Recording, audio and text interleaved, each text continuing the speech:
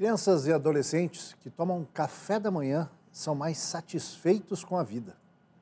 É o que mostra um estudo feito com jovens de 10 a 17 anos de 42 países. Café da manhã é uma refeição que Simone se obriga a tomar. Eu não gosto muito de comer logo cedo, mas eu como porque eu sei que é importante. Eu faço exercício logo cedinho, antes de começar as funções do dia, eu já faço atividade física. Então eu como porque eu sei que precisa. A chegada de Nina há 13 anos foi mais uma motivação para investir não só no hábito, mas também na qualidade do que servem à mesa. O café da manhã é realmente o que me dá energia para o dia, então eu preciso comer coisas que me deem bastante energia, como fruta, é, me hidrato bastante, aproveito já para tomar muita água no café da manhã que às vezes eu esqueço de tomar no resto do dia. O hábito diário de tomar café da manhã ainda representa mais um momento de interação entre mãe e filha e traz benefícios para além da saúde física, especialmente para crianças e adolescentes.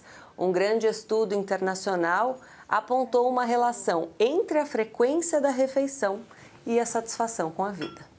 No trabalho feito em 42 países, os pesquisadores perguntaram a mais de 150 mil pessoas de 10 a 17 anos se consumiam algo além de um copo de leite ou suco ao acordar. Aqueles que não iam além desse cardápio demonstraram maior nível de infelicidade. Por outro lado, os que tomavam café da manhã todos os dias se mostraram mais satisfeitos com a qualidade de vida.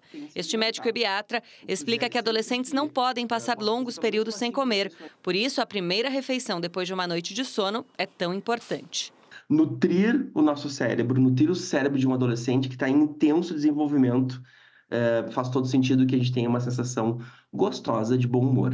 E uma boa nutrição significa oferecer bons alimentos e respeitar a saciedade do adolescente. Pensando numa criança, num adolescente que não tem tanto apetite logo que acorda e tem aquela rotina corrida para ir logo para a escola, que não tem tempo para esperar esse apetite aparecer, a minha recomendação é sempre começar o dia, o café da manhã, com frutas que são alimentos realmente nutritivos, ricas, ricos em fibras, em nutrientes, que a gente consegue trazer um pouco de, de, de saciedade para aquele momento, e aí a gente finaliza esse café da manhã no lanche escolar. Por isso, a merenda escolar é tão importante na rede pública de ensino. E em casa, incentivar a autonomia ajuda na construção de uma relação saudável com a comida. Um bom café da manhã é um café da manhã que o adolescente mesmo prepare o seu alimento, né?